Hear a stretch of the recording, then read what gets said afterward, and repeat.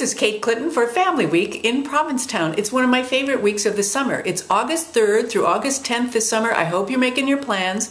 It is one of the largest gatherings of LGBT headed families in the country or probably the world. And they have a blast. Uh, there's dancing, there's parties, there's beach parties, there's lots of conversation, and you'll, you'll be reminded of your commitment to the LGBT movement and the wonderful things that it's doing to change the notion of family.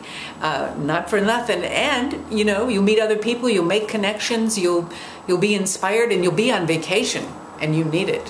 Hope to see you there. August 3rd through August 10th. It's Family Week in Provincetown.